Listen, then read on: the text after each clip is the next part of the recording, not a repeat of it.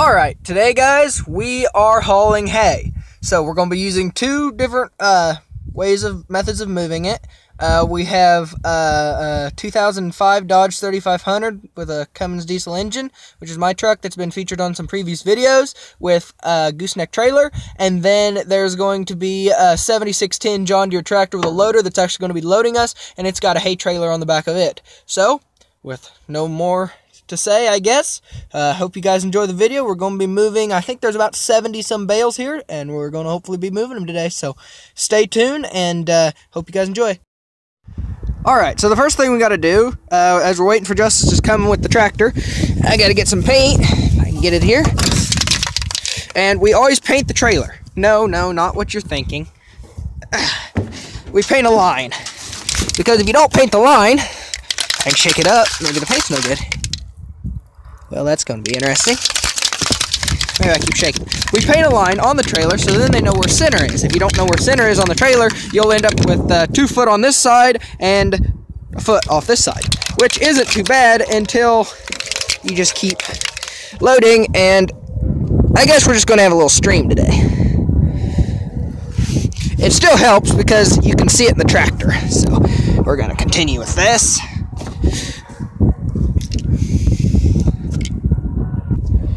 Alright, so now we've got the line painted, if you guys can kind of see that there.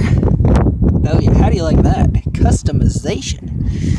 Anyway, we got the line painted, so now all we gotta do is just wait for Justice to load the hay bales, and uh, he'll be able to get them in the center a lot easier. So then uh, loads, loads right correctly, so there's not weight distributed on one side of the trailer and not the other.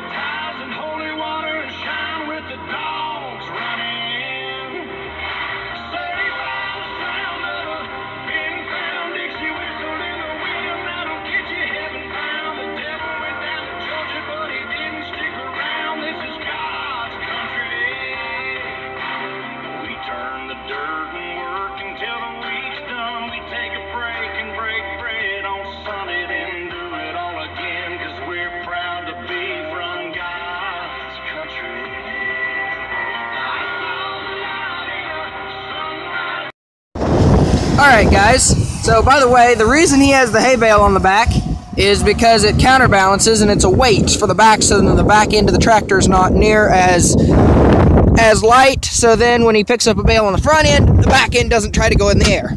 So with that said let me get down here and we just got finished loading a load of hay. So here's what a fully loaded we can sometimes get one up there but uh, we're just traveling a shorter distance so we won't have to be getting one up there and won't have to be pushing the weight so much on the trailer. So with that said let's go see where Injustice is loading the hay trailer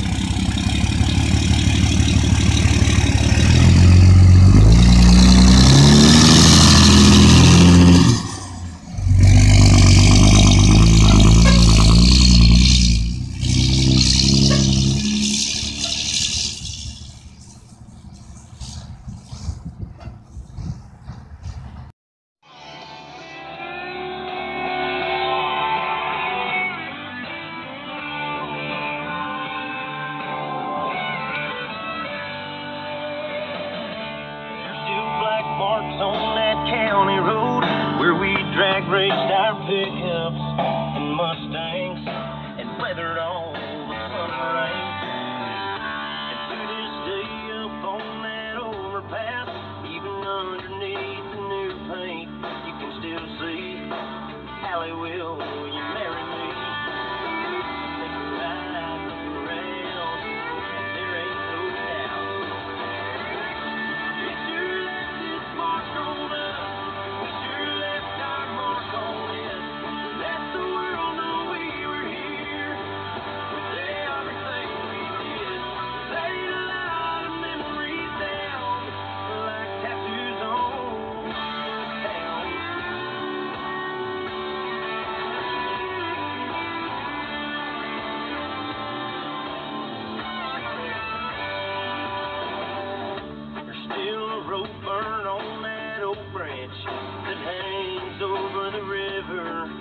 got the scar swinging out a little too far.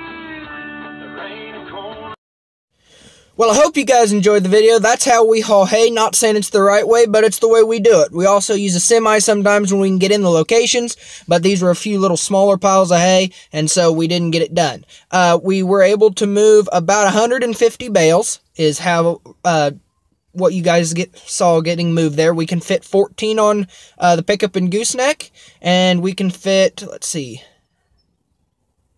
trying to add it up here. We can fit 13, 12 on the tr- trailer, and then one on the front of the tractor.